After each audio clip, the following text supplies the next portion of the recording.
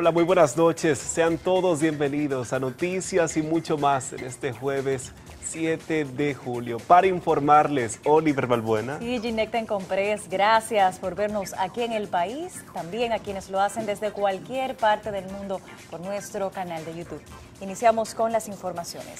La confirmación de la presencia en el país de la viruela del mono y dos variantes más contagiosas de Omicron reabre el debate sobre la necesidad de establecer controles sanitarios en lugares públicos, así como en aeropuertos, comercios y restaurantes. Así es, Ginette. Tenemos a Wilkin de la Cruz con más detalles en vivo desde el Palacio Nacional. Adelante, Wilkin.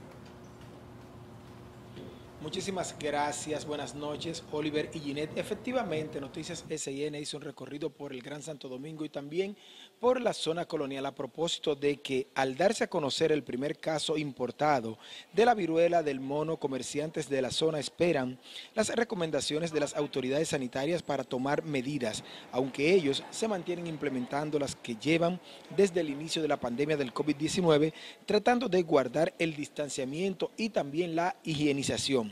Asimismo, residentes en el Gran Santo Domingo entienden que las autoridades deben tomar medidas para evitar la propagación. Indican que por iniciativa propia se mantendrán aplicando las medidas que se llevan a cabo ante, ante el COVID-19. Asimismo, epidemiólogos consideran que es necesario que las autoridades tomen medidas más estrictas para evitar la propagación de esta pandemia. Escuchemos. Esperemos que, que tomen buenas decisiones para que no pase igual que el COVID. En mi vehículo tengo los correctivos del lugar, si es que eso es verdad, que uno se pone la cosa en la mano, y mantener la distancia porque tenemos que cuidarnos y cuidar a la familia. Los medios que vengan de Estados Unidos, de Puerto Rico, de países suramericanos que están vinculados a la COVID, tienen que hacer una vigilancia estricta, epidemiológicamente hablando, estricta, si quiere que no se expandan porque no podemos hacer como la COVID, que crearon un mecanismo para controlar la COVID a nivel turístico y por ahí hay más COVID que aquí en, la parte interna. Cabe destacar que hasta el momento el joven que ha sido diagnosticado con este virus está ingresado en el Hospital Ramón de Lara recibiendo los protocolos sanitarios correspondientes. Esta noche a las 10 en la emisión estelar de Noticias SN tendremos más detalles de esta información. Oliver y Ginette regreso con ustedes.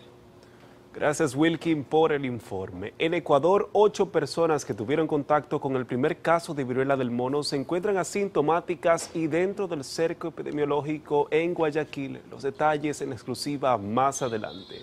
Retornando al país, el sector industrial calificó como un acto de responsabilidad la decisión adoptada por el ministro de la Presidencia, Lisandro Macarrulla, que solicitó al presidente Abinader una licencia al cargo en momentos en que su hijo y la empresa que éste dirige forman parte de los acusados en la Operación Medusa.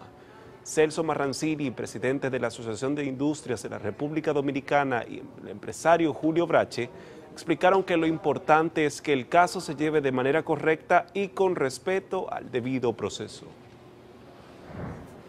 Sobre el tema, la pregunta de Twitter de esta noche, ¿cree usted que Nene Cabrera debería pedir una licencia o renunciar mientras compras y contrataciones lo investiga por su manejo en el PROPEP? Honrenlo con sus comentarios, envíelos con el hashtag OpineSIN, serán compartidos más adelante.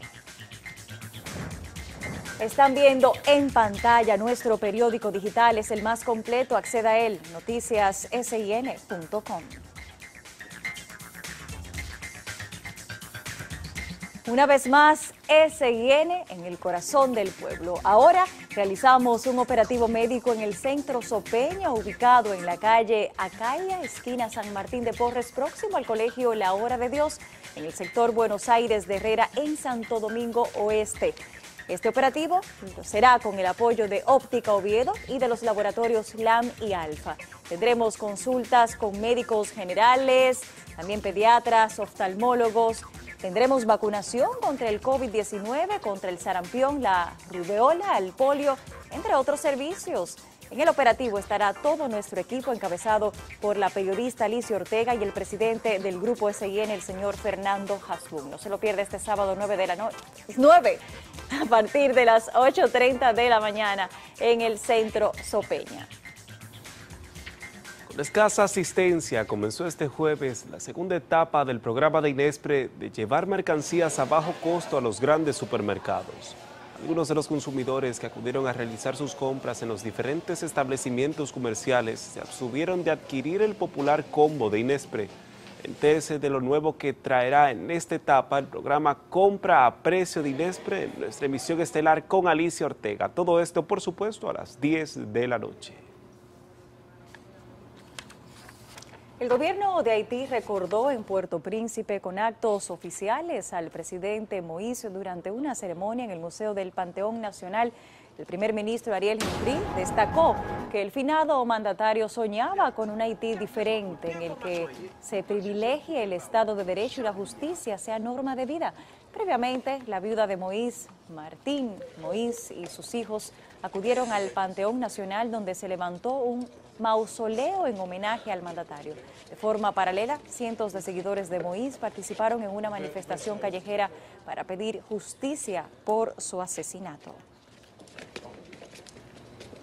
No se pierda este jueves en un TVT del informe a propósito de que este 7 de julio. Se cumple un año del asesinato del presidente Moïse, como ya lo dijimos, recordamos la investigación el rastro de un magnicidio, la tragedia que volvió a colocar a Haití en la mirada del mundo, la escena del crimen, los acusados, los apresados, los puntos fronterizos y mercados binacionales cerrados, los vuelos cancelados y las revelaciones de que ex militares colombianos vinculados al asesinato pasaron antes de cruzar la frontera por territorio dominicano. Véalo justo al terminar noticias y mucho más esta noche por nuestro canal de YouTube. Además, ¿cómo han avanzado las investigaciones sobre el homicidio? ¿Cuál es la situación de los mercenarios colombianos? Esta noche tendremos un reportaje especial sobre el tema en nuestra emisión estelar con Alicia Ortega.